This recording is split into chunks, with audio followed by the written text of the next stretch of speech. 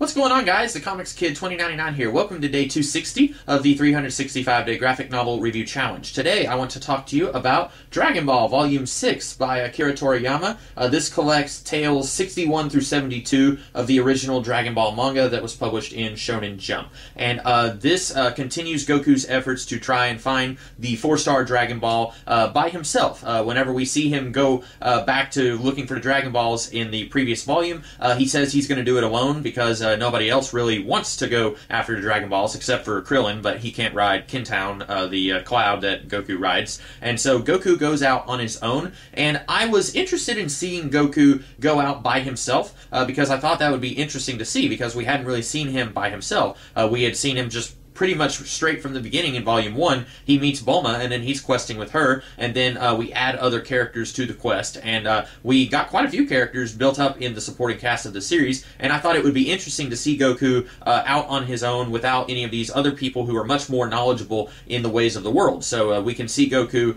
uh, do things uh, that he's not an idiot, but he's very naive and very ignorant of what's going on in the world. So he might say something like, you know, I don't know, he I can't think of anything that he would say, but he would say something, and then everyone else does that thing where uh, they're like falling on the ground and their feet are in the air because they're so shocked uh, that he would say something so silly or what they think is silly. Uh, so I was interested in seeing Goku uh, go out and quest on his own. I thought that would be a neat uh, little twist on the dynamic of the series. Uh, but this volume has him going back and kind of reuniting with some of the supporting characters that we built up over the previous volumes, and I think that was a good move because whenever you have one character like Goku out on his own, he can't really bounce off of anyone else. Uh, it's a lot harder uh, to do a story when it's one character uh, going after all the bad guys as opposed to one character who has other characters that he can talk with. And uh, a lot of the charm of this series is uh, the dialogue. Uh, you get to see characters who are very different from each other, chatting with each other and being together in the same scene.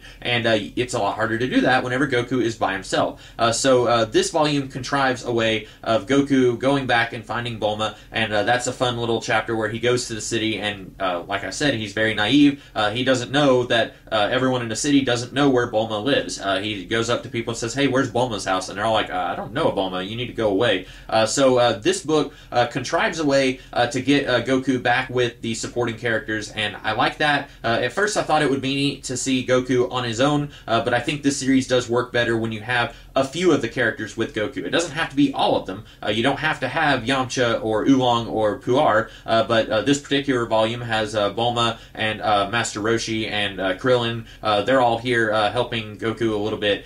so I think it does work better if you have a few of them, and you could even rotate them out. You could have Bulma in the next volume say, "Listen, I didn't know that the Red Ribbon Army was coming after us. I don't want to do this anymore." But then Yamcha might come in and say, "Oh, the Red Ribbon Army, they killed my father. I want to help Goku take them down," or something like that. Uh, I don't think that that's going on here, but uh, I think that would be a really good way that you could uh, keep characters in this series, uh, but not necessarily uh, get stale with the same characters in every volume. Uh, and that way you could have uh, different characters interacting with Goku and uh, having fun little hijinks uh, in each volume. Uh, also, one thing I like that I didn't mention in the previous video when I was talking about Volume 5 is the Red Ribbon Army itself. it reminds me a lot of the bad guys from like the G.I. Joe cartoon, Cobra, or Hydra from the Marvel Universe. It's basically just a big giant army of never-ending evil. Uh, you can have Goku defeat uh, General White or Commander Blue or uh, Sergeant Red or whatever their names are, uh, and then you can just bring in another leader in the Red Ribbon Army. Uh, I really like that a lot. Uh, I think that Toriyama very quickly realized that he had a very long-running series on his hands, potentially as long as he wanted to do it, and so he needed to come up with some bad guys who could last for a good little while.